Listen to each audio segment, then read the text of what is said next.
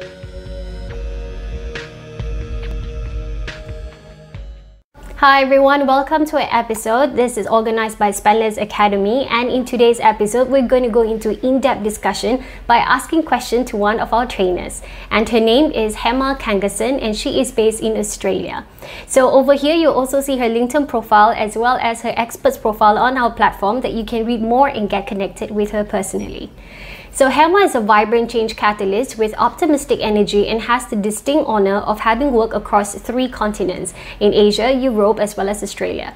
She possesses the wit, knowledge, and the acute experience to lead as an example for her clients. She is a chartered accountant who qualified in PwC Kuala Lumpur and was disappointed when her years of experience in top-tier investment banks in London was not considered when she arrived in Australia in 2011.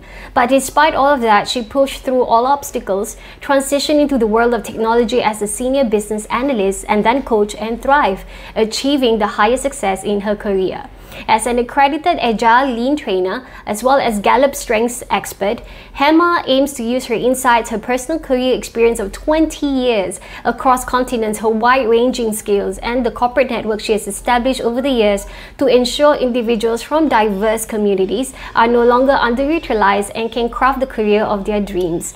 Hema also works in conjunction with growth-minded people, focused organization wanting to activate the potential of their leaders and teams, improve their culture and successfully implement sustainable change across the workplace. So we asked a couple of questions to Hema. Be sure to watch to the end of the video and sign up for her webinars on Spendless Academy. Okay, what are some of the reasons limiting people to achieve maximum potential in their life or career? Well, what I think limits a lot of people from achieving their maximum potential is they actually are not able to break through their limiting beliefs and also the you know lack of opportunity and access because of the family that they're from to you know the lack of education to the lack of opportunities or gender or a lot of other things. And what happens is they stay within that particular you know area and and don't break through. And uh, yeah they're, they're stuck in a rut. And due to that they they will never be able to fully appreciate their maximum potential.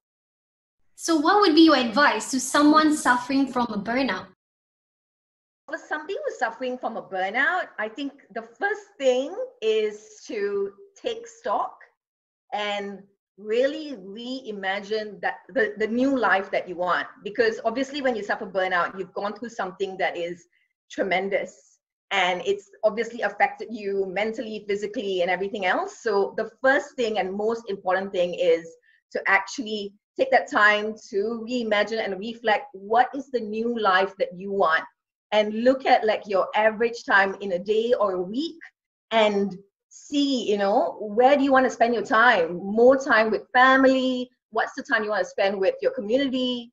To work to personal and self development i think it's so important to use that time effectively and then from there take step by step steps to move forward to achieve what you want in this reimagined future so why is self-development is as important as professional development?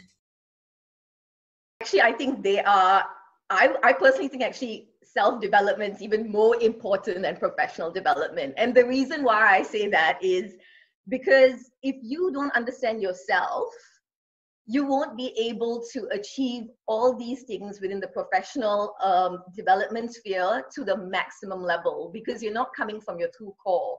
So you have to start, or the best thing to do is actually start with self-development. I wish there was more self-development even in the, you know, in our education system.